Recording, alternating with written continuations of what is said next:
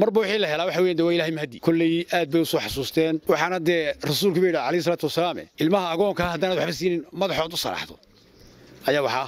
Marka waxaan aad uga mahad ururka ka soo shaqeeyey ururka awnuur foundation oo ah urur ka shaqeeya arrimaha khayriga ah ayaa deeq dharka ciiddaa gaadhsiiyey in ka badan saddex boqol oo carruur ah oo agooma ah oo ku nool degmooyinka bakilughaya ee ka tirsan gobolka awdal. Deeqdan dharka ciidda ah ayaa loogu talagalay in ay caruurtu farxadda ciidda ah kula ciidaan.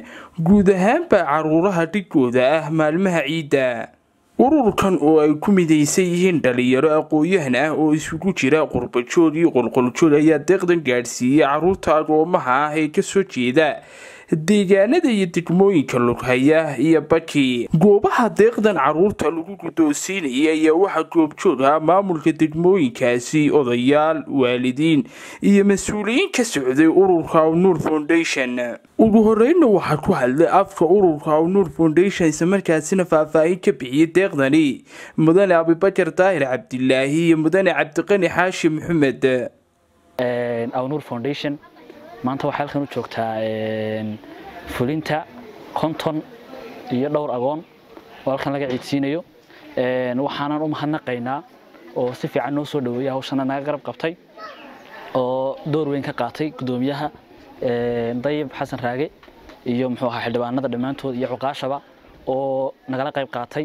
Koley awnuur foundation waxay soo shaqaynaysaa afar sano oo hore shan boqoloo agoon ay ciiddii dhawyadahayd tan maantana waa saddex boqol kolley sii socon doonaa.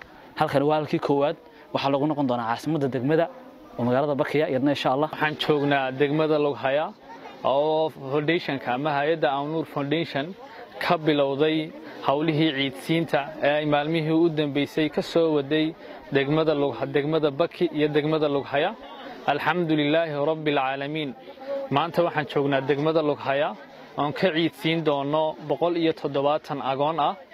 Insha allah waxaan rajaynaynaa ka foundationku wuxuu muddooyinkii u dambeysay soo waday ciidsiin ilaa saddex boqol oo agoona inuu kafaalo qaado ciidda dharkii ay xidhan lahaayeen. Waxa uu boqol iyo soddon agoona ka soo ciidsiiyey degmada baki daraad iyo shalay.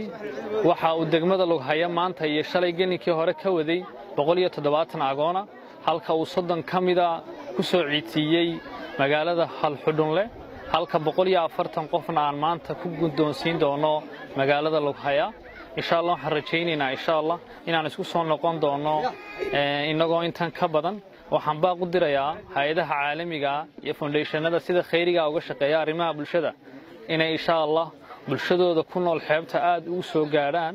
Hadduu allah awooddi la ogolaado awnuur foundation ahaana waxaan u diyaarsannahay inaannu aqbalno wax kasta oo baahi ka jirta aanan daboolna insha allah hadduu allah awooddi la ogolaado. Nuur foundation dhalinyarta hogaaminaysaan soo dhoweynaynaa ee maanta noogu timiday ruqi ee wadda in ay ciidsiiso dad badan oo carruura oo dhowr iyo kontona tirada say igu sheegeen oo dadkii agoomihii baahnaa ah.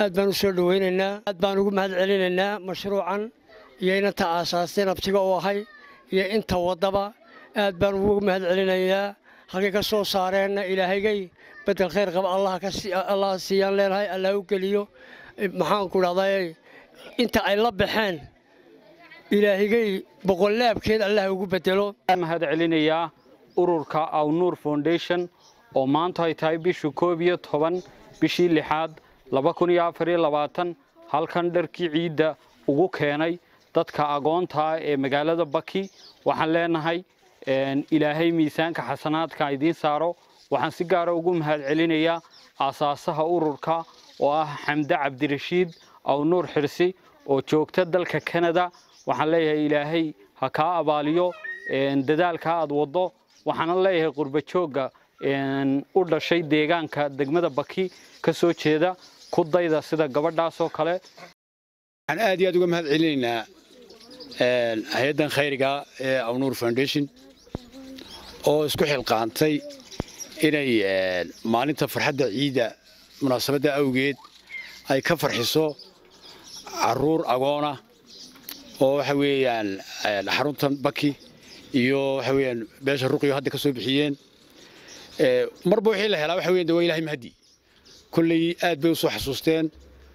Waxaana dee rasuulku ba yidhi alayhi salaatu wasalaame ilmaha agoonkaa haddaanad waxba siinin madaxood u saraxdo ayaa waxaa marka waxaan aad uga mahad celinaynaa ururka ka soo shaqeeyey ee awnuur foundation. Islaamnimadeenna caqliyaddeenna fayuuba ayna faraysa inaan dadka agoomaha aan wax tarno. Waan uga mahad celinaynaa tiimka ka shaqaynaya iyo cidda isku hawshay ee garatay inay tawdo maanta. Waxna tarto agoomaha oo la gaadhsiiyo oo waddada dhahayntoodu ayna gaadhsiisnayn halka ka agoonkaan agoonka hayna yahay waalidkiisu nool yahay. Waxaan leenahay jasaaka allahu khayra jasaa halkaad ka bixisay allaha bedel khayr qaba kugu bedelo inta ku hawlanna waan ugu hambalyaynaa waana soo dhawaynaynaa sida wanaagsan ee tixgelinta leh ee xushmadda leh ee aad ula shaqaynaysaan. Dadka hayntoodu yar tahay oo maanta dadkii in wax la tara mudnaa ah. Maanta u shaqaynayna aan u taaganahay bannaankan waa agoomaheennii hooyadu ka dhimatay ama aabbuu ka dhintay nuur foundation waanu uga mahad celinaynaa. Waxaan weliba uga sii mahad celinaynaa. Gabadha iyadu iskaga nool kenida een balaaya u dhoweyn ee amnigeega iyo caafimaadkeega iyo nolosheeda iyo wixiigaba la damaanad qaaday. Inay nagala qayb qaadato hawsha halkan taalla oo agoomaha reer ruqi ama jeebkeegaa ka bixiso ama jeeb dad kalebaa ka soo qaadee hay u soo dadaasho.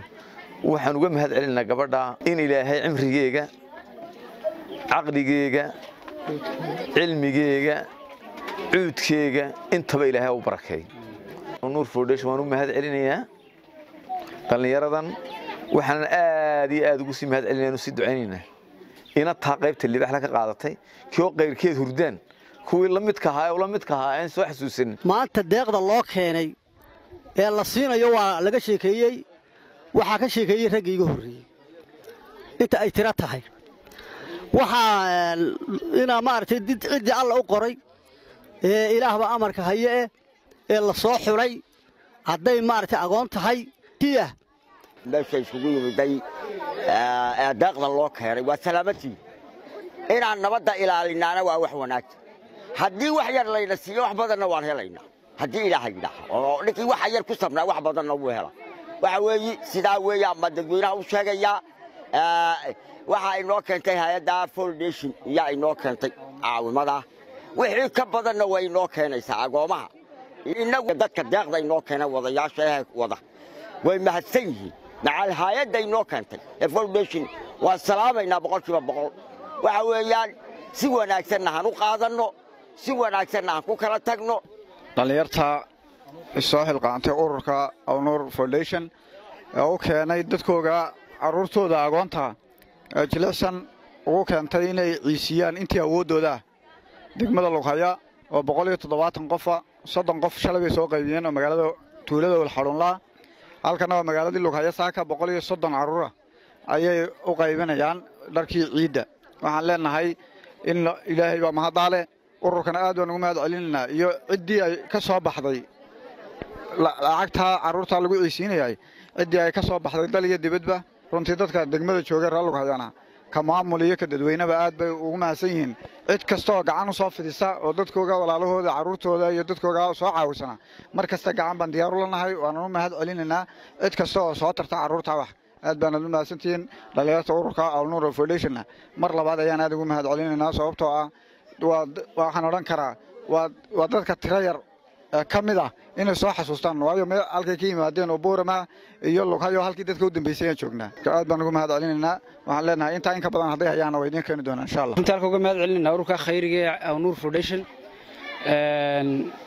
oo deeqda oo dad ciyaalka agoomaha lagu ciisiinayeyna soo gaadhsiiyey ee magaalada lughaya runtii hay'ad maaha waa urur khayriya oo dhallinyara oo dhallinyarta inala joogtaa dhallinyar reer boorama iyo dhallinyar qurbajooga oo runtii isku tegey baa intaa degmada soo gaadhsiiyey waxaa idi keentay maaha qoys bay ahayd degmada lughaya ballaaran tahay. Marka magaalada lughaya soddonka kalena waxa ahayd hulxadhuunla meesha la idhaahdo intaasay markaa kaasaa degmada guud ahaan la keenay. Intaasayna qaybiyeen.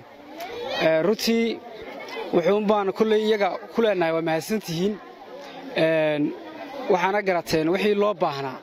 U mahadnaqayaa ururka awnuur ee qurba joogta. Goobtan waxaa weeye waalxadhuunle qurba joogta intii horeysa dee na soo caawisay soddon qof soddon ciyaala yidhahan raad soo qora. Soddon ciyaala yay yidhahan soo qora. Aqoomaha ka mid ahaa. Dadkani waa aqooma aad arkaysiin. Raggani waa aqoomo soddon ciyaal oo aqoomo ku jiraan. Soo qora yidhaahan waan qornay dee. Saaka wixii ciiddoodahaa waa loo sidaa.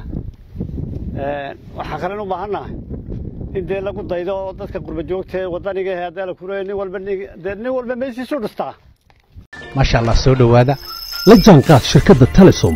Maxmil waxay kuu diyaarisay adeegga internetka ay faibar optiga kaasoo xawaarihiisu kala go' lahayn waa guji waa ishaa biligteeda.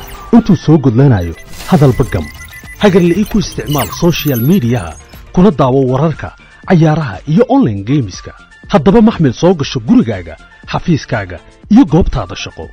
Fadlan nagala soo xidhiidh nambarka gaaban